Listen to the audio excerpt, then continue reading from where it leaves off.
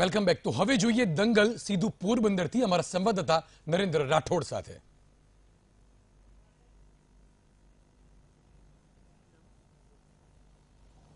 નમસ્કાર. વીટીવીના ખાસ કાર્યક્રમ દંગલમાં આપનું સ્વાગત છે. દંગલ લઈને આજે આપણે પહોંચ્યા છીએ મહાત્મા ગાંધીની ભૂમિ પોરબંદર આમ તો અહીંયાથી હિંસક અથવા તો જે દંગલ જેવો શબ્દ છે એ વાપરવો પણ ઉચિત નથી. પરંતુ વાક દંગલ જે છે એની શરૂઆત આપણે અત્યારે હાલ અહીંયાથી કરી રહ્યા છીએ. ભારતીય જનતા પાર્ટીમાંથી આપણી સાથે વાતચીત કરવા માટે અજયભાઈ બાપોદરા, કપિલભાઈ કોટેચા અને નિલેશભાઈ મોરી જોડાયા છે. જ્યારે કોંગ્રેસ પક્ષમાંથી વાતચીત કરવા માટે લાખણભાઈ ગોરાણીયા, સંદીપભાઈ વાડેદરા અને કિશનભાઈ રાઠોડ જોડાયા છે. તમામ સાથે વાતચીત કરશું. જો આ બેઠકની વાત કરવામાં આવે તો છેલ્લા ત્રણ જે દાયકાની અંદર દબદબો ભારતીય જનતા પાર્ટીને રહ્યો છે. એકમાત્ર વાર કોંગ્રેસની અહીંયા જીત થઈ છે. ત્યારે ફરી એકવાર ત્રણ છેલ્લા વર્ષોની અંદર અહીંયા સાંસદ સભ્ય બીમારીના કારણે આ વિસ્તારની અંદર નથી પહોંચ્યા. આમ છતાં પણ આ વિસ્તારના લોકો એમને શા માટે મત આપશે એ એમની પાસેથી જાણશું. કે ફરી એકવાર તમે કઈ રીતના કહી શકો છો કે ભારતીય જનતા પાર્ટીને આ વખતે પણ મતદાતાઓ ચૂંટીને લાવશે? વાત એ રહી છે, આપે જે વાત કરી છે કે અમારા સંસદ સભ્ય બીમાર હોવાના કારણે અહીંયા નથી પહોંચી શક્યા. પણ વિઠ્ઠલભાઈ રાદડિયા સાહેબ જ્યાં સુધીની એની તબિયત બહુ સારી હતી અને એમને પોરબંદર માટેની ઘણી બધી ગ્રાન્ટો જ્યાં એ પોરબંદરને અમને મોકલી છે. અને એની ગ્રાન્ટોથી અમે ઘણો બધો વિકાસ પણ કરી શક્યા છે. પોરબંદર જિલ્લાની અંદર બે વિધાનસભા, કુતિયાણા અને પોરબંદરની અંદર હાલમાં પણ આજની તારીખે એમની એટલે મોટા પ્રમાણમાં જે ગ્રાન્ટો આવેલી છે એટલે કે જે દિલ્હીથી જ્યારે નરેન્દ્રભાઈ મોદી સાહેબ બેઠા છે સવાલ જ નથી ઊભો થતો. માત્ર પોરબંદરની વાત ન કરે પણ છવ્વીસે છવ્વીસ બેઠકની અંદર આજે દિલ્હીથી વિકાસ થઈ રહ્યો છે. ઓકે દિલ્હીથી વિકાસ થઈ રહ્યો હોવાનો દાવો. દિલ્હીથી વિકાસ હોવાનો દાવો તો કરે છે પણ ગ્રાઉન્ડ લેવલ ઉપર અહીંયા લોકલ લેવલ ઉપર કંઈ દેખાતું નથી. માણસોને કોઈ વસ્તુ સ્કીમનો લાભ મળતો નથી. કોઈ નેતા અહીંયા પોતે હાજરી તો નથી આપી સ્કીમનો લાભ નથી મળતો? જે પણ સ્કીમો છે આપણે જે બેરોજગારીની જે આ વિદ્યાર્થીઓની જ વાત કરીએ આપણે તો વિદ્યાર્થીઓને આપણે આપણે જે યુનિવર્સિટીઓ છે એક મોટું ખાનગીકરણ કરી અને જે આ માફિયાઓ છે તેમને સોંપી દે છે. જેના કારણે વિદ્યાર્થીઓને પણ ઘણી મુશ્કેલ છે અને પોરબંદરની જ આપણે લોકલની જ વાત કરીએ તો ઘણી બધી સરકારી સ્કૂલો એવી છે કે જ્યાં શિક્ષકોની ઘટ છે. જેના કારણે જે વિદ્યાર્થીઓ હોય છે તે પૂરતું શિક્ષણ નથી મેળવી શકતા. ના છૂટકે તેમને પોરબંદરની બહાર મોટી મોટી ફીઓ ભરી અને જવું પડે છે. રાજ્ય સરકારનો મુદ્દો છે. આપ શું કઈ કહેશો? વિકાસના દાવો કરવા માંગી રહ્યા છે. વિકાસથી તો ખાલી વાતો થાય છે. એ વિકાસનું નામ બદલી ગયું હવે ચોકીદાર ઉપર વયા ગયા છે. વિકાસ માટે અહીંયા કંઈ છે જ નહીં. તમે અહીંયા ચોપાટી ઉપર આ ચોપાટી વારંવાર ખોદીને આજ સીસી રોડ બનાવવામાં આના સિવાય પરંતુ જગ્યા તો સારી છે અમે જોઈ છે. એ જગ્યા વારંવાર આજ આ પાછા તમે પાછા આવતા વર્ષે આવજો એટલે પાછો ખોદી નાખે ને પાછો એ સીસી રોડ પાછો નવેસરથી બનાવી. તોડીને ફરીવાર વિકાસ ઊભો કરવામાં આવી રહ્યો છે. ભાઈએ વાત કરી કે વિદ્યાર્થીઓની તો વિદ્યાર્થીઓ વિકાસનો મુદ્દો છે અને એમને એ પણ કીધું છે કે છેલ્લા ચાર વર્ષની અંદર વિકાસ હતો હવે ચોકીદાર બન્યા છે. ચાર વર્ષની અંદર વિકાસ હતો અને ચોકીદાર બન્યા છે ચોકીદાર બન્યા છે. ચોકીદારનો અર્થ એ લોકો ખાલી નોકરી માટે જ રહે છે પણ દેશની સુરક્ષા દેશના જે હિતોની સુરક્ષા એની ચોકીદારી હરેક માણસ કરે છે આ દેશનો હરેક નાગરિક કરે રહી વાત વિકાસની. તો વિકાસ એ લોકોને આંખે વળગીને ઉભે છે આ ચોપાટીમાં તમે પોતે વિઝ્યુઅલ લઈ શકો છો. લાસ્ટ ટાઈમનું તમારું વીટીવી નું આઈનું જ રેકોર્ડિંગ હતું આજનું પણ જો ક્યાંય ક્યાંય ખોદાયેલ નથી આવી ચોપાટી વર્ષો જરૂરથી સારી જગ્યા જોવા મળે મારા કોંગ્રેસ મિત્ર એમ કીધું છે કે ગ્રાઉન્ડ ઝીરો છે તો હું એને યાદ દેવડાવવા માંગુ છું કે આ વિકાસનો એક નમૂનો છે. મોદી સાહેબે એટલો વિકાસ કર્યો છે ને કે હવે એને મત માંગવા માટે કોઈ મુદ્દા નથી રહ્યા. રીતના નિર્ણય છે? હા ચોપાટી તમે જોઈ લ્યો કમલાબાગ જોઈ લ્યો. આ બધા વિકાસના મુદ્દા છે. આ વિકાસ ઉપર જ આગળ વધીએ છીએ. અને અત્યારે અત્યારે ચોકીદાર એમ કે ચોકીદાર ચોર છે ચોરને પકડીને જ રહેશે ચોકીદાર. ચોરને પકડીને રહેશે ચોકીદાર. ચોરને પકડીને રહેશે પણ વાડે ચીબડા કરે છે. ચોકીદાર જ છે ને ચોર એ છે. કોને પકડવા જાય આ રહ્યા પકડો ને તમે. કોને પકડશો? અમે ક્યાં મિનિસ્ટ્રીમાં? મિનિસ્ટ્રીમાં તમારા નેતાઓ છે. નેતાઓએ કૌભાંડ કરેલા છે. બધાને ખબર છે. અને તમે ચોકીદાર જ હોય તો રાફેલની ફાઇલ તમે ક્યાં કરી ગયા? મને ફાઇલનો મુદ્દો વારંવાર ઊભો થઈ રહ્યો છે. જે કુટુંબ ગાંધી કુટુંબ આખું ઉપર બહાર છે એ ચોર ને ચોકીદારની વાતો કરે છે. વાડરા હમણાં જામીન ઉપર બહાર આવશે.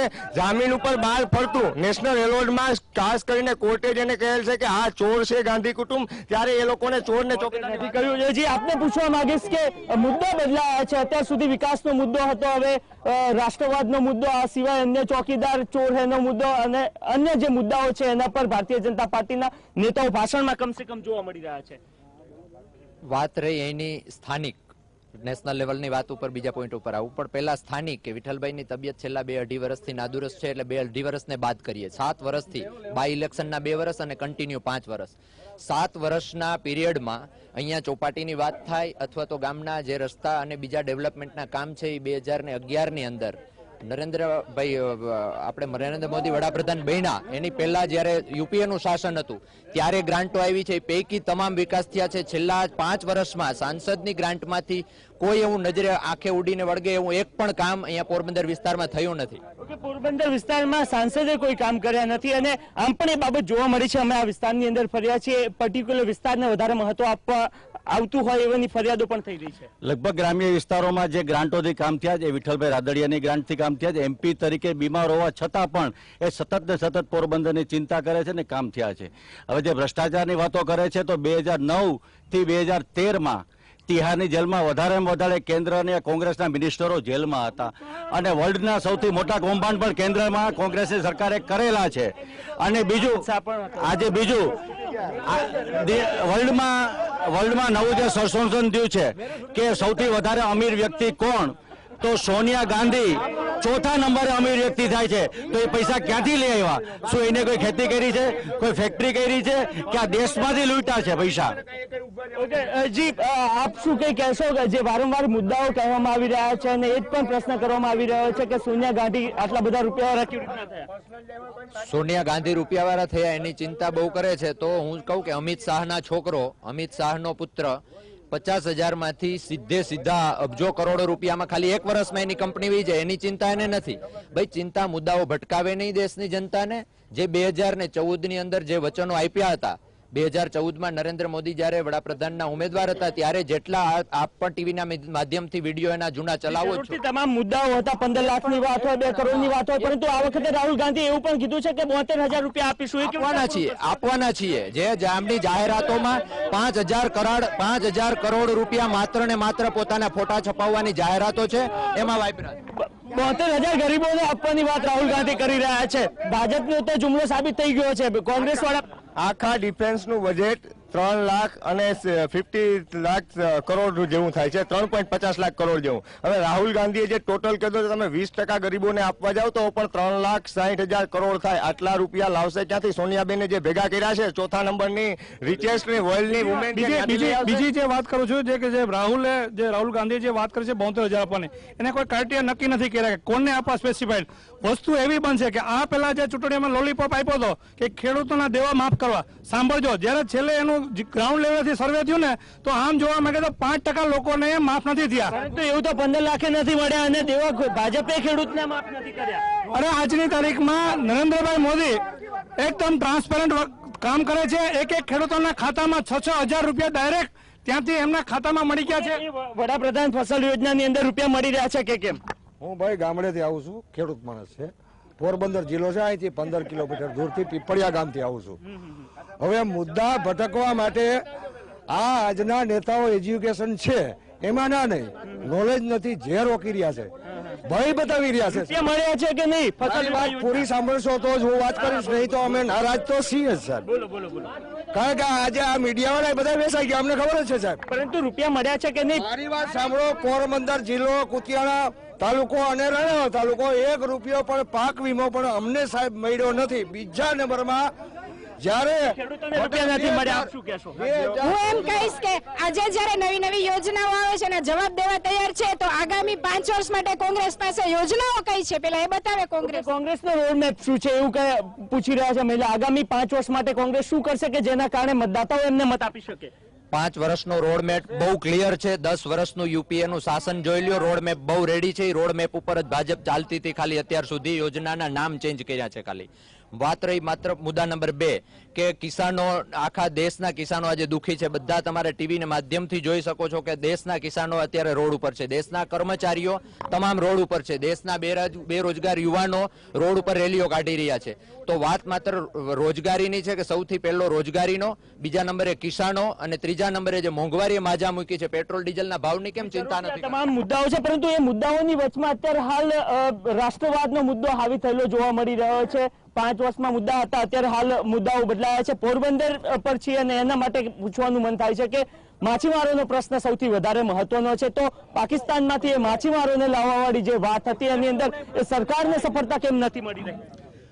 જે આપણે બે હજાર ચૌદમાં નરેન્દ્રભાઈ મોદી કેન્દ્રમાં સ્થાપિત થયા અને બીજા વર્ષે પણ બે હજાર પંદરમાં સત્તાવન બોટ છોડી અને સરકારના પૈસે છોડી એ પહેલી રેકોર્ડ છે.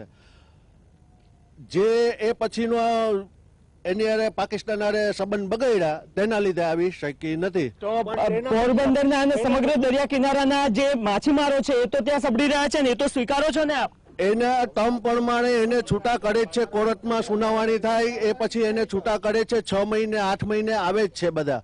બરાબર છે? હમણાં જ કેન્દ્ર સરકાર માટે એક નવી યોજના બહાર પાડી કે જે ડીપસી ફિશિંગ બનાવ બોટ બનાવશે એને ચાલીસ લાખ કેન્દ્ર સરકાર આપશે અને સોળ લાખ રૂપિયા ગુજરાત ગવર્મેન્ટ આપશે. એના મુદ્દે કામ કર્યું હોવાનો દાવો છે તમે?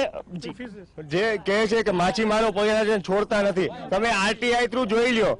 આજે જેટલા માછીમારો કોંગ્રેસના ટાઈમમાં પકડાયેલા છે એમાંથી કેટલા છૂટ્યા છે? અને ભારતીય જનતા પાર્ટીનું એનડીએ શાસન વાજપેયીજીની સરકારનું પાંચ વર્ષનું શાસન કે છ વર્ષનું શાસન? અને આ પાંચ વર્ષનું નરેન્દ્રભાઈનું શાસન? એમાં કેટલા માછીમારો છૂટ્યા? તમને જાણીને આશ્ચર્ય થશે કે કોંગ્રેસનો એટલો ટેન્યુઅર કરતા પણ ભાજપના માત્ર અગિયાર વર્ષના શાસનમાં સૌથી વધારે માછીમારો છૂટેલા છે નરેન્દ્રભાઈ નરેન્દ્રભાઈ એવા વડાપ્રધાન છે કે ફિશરીઝ માટે અલગથી જો કોઈ બોર્ડ બોલું બનાવ્યું હોય તો નરેન્દ્રભાઈ મોદી સાહેબે બનાવ્યું છે. અલગથી આખું કેબિનેટ અને આખું એનું એનું આખું કાર્યાલય જ અલગ. અને અત્યાર સુધી એવો કઈ મચ્છીમારો માટે આવું કઈ વિચાર્યું હોય તો પૂછો એ લોકોને. માછીમારો માટે કોંગ્રેસે કઈ નથી કર્યું. જે નિલેશભાઈ કહે છે કે અલગથી બધું બનાવેલું છે તો અત્યારે ડાયરેક્ટરો બનાવ્યા છે તો આ ક્યુ કામ કર્યું અમે? અમે પૂછીએ છીએ સત્તાવન બોટ પાકિસ્તાનથી જોડાયું તો એક હજાર ઉપર બોટો છે એ કેમ છોડાવી નથી? શા માટે છોડાવી નથી? બે હજાર બેથી બે હજાર ઓગણીસ સુધીની વેટ રિફંડ ને અત્યારે સાતસો થી આઠસો કરોડ રૂપિયા અમારા બાકી છે અત્યાર સુધી કેમ નથી મેડમ સરકાર એ માછીમારોને છોડાવવામાં નિષ્ફળ રહી છે એવું લાગે છે? સો ટકા નિષ્ફળ રહી છે. ત્રણ મહિનાની વેલિડિટી છે એના બદલે બે વર્ષે ત્રણ વર્ષે માછીમારો છૂટે છે. ને અમારી બોટ તો પચાસ લાખ રૂપિયાની આવતી જ નથી અત્યાર સુધી. અમારે માછીમારોનું નામ જોતો હતો સદંતર સોળસો કિલોમીટરનો અંદર વિકાસ થયો જ નથી. આ તમામ મુદ્દાઓની વચમાં એક મુદ્દો એ પણ રાષ્ટ્રવાદનો મુદ્દો હાવી જોવા મળી રહ્યો છે. તો શું હવે છેલ્લા ચાર વર્ષના મુદ્દાઓ પૂરા થયા છે અને માત્ર રાષ્ટ્રવાદ એ જ માત્ર મુદ્દો રહ્યો છે? ચાર વર્ષમાં નરેન્દ્રભાઈએ પોતાના નામનો ઉપયોગ કર્યા વગર પ્રધાનમંત્રી વાપર્યો છે નરેન્દ્રભાઈ વાગ્યા વગર એકસો ને છપ્પન જાતની સહાયતાઓ ભારતની જનતાઓ માટે પૂરી પાડી છે. એ ઉપરાંત જે આપણી સુરક્ષા કહી શકે આપણી બોર્ડરો મજબૂત થઈ છે. એ ઉપરાંત તમે કહો સુરક્ષા તો આ ભાઈ જે હમણાં તમને કહેતા હતા ભારતીય જનતા પાર્ટીની સુરક્ષાથી એટલા પ્રભાવિત થયા કે એક દિવસ કમલમે લાઈનમાં જીતુભાઈ વાઘાણીને મળવા માટે ઊભા હતા. એ મુદ્દો વાત છે એ કરો. હજાર વાળી તમે વાત કરી રાહુલજીએ કે બોતેર હજાર ડિક્લેર કર્યા છે, કોઈ પણ ગાઈડલાઇન્સ વગર. નરેન્દ્રભાઈ મોદી સાહેબે એક એવી સ્કીમ કાઢી છે, આરોગ્યની અંદર, સાંભળજો, કે જે એક આયુષ્માન ભારત કાર્ડ બનાવ્યું છે એ બીપીએલ લોકોમાં જે આવતા લોકોને બધાને બીપીએલ અને એક એક કુટુંબને પાંચ પાંચ લાખ રૂપિયાની આરોગ્ય બાબતની સહાય મળે છે. અંતિમ તરફ જઈ રહ્યા છે. કોંગ્રેસને પૂછવા માંગીશ કે એવું શું છે કે જેના કારણે આ વખતે મતદાતાઓ તમને મત આપશે? મતદાતાઓ એટલા માટે મત આપશે. આયુષ્યભાનની ભાઈએ વાત કરીને એમ જ કીધું કે બીપીએલ કાર્ડ ધારકોને સેવા મળે છે. બીપીએલ કાર્ડોની સંખ્યા દર વર્ષે ઘટાડવામાં આવી છે. દર વર્ષે ક્રાઇટેરિયાને હાઇટ લેતા જઈને બીપીએલની બીપીએલની સંખ્યા ઘટાડવામાં આવી. મતદાતાઓ શા માટે મત આપશે કોંગ્રેસને? મતદાતાઓ પાંચ વર્ષના જુમલાઓ સાબિત થયા છે. મતદાતાઓ ખેડૂતોના પ્રશ્નો વિદ્યાર્થીઓના પ્રશ્નો રોજગારીના પ્રશ્નો અને છેલ્લે મેં ફરીને કહું છું કે પેટ્રોલ ડીઝલના ભાવના કારણે મોંઘવારી. શા માટે તમને મત શા માટે આપશે? આખરી આખરી આ દેશ એકદમ સુરક્ષિત એવા વડાપ્રધાન મળ્યા છે, આદરણીય નરેન્દ્રભાઈ મોદી સાહેબને.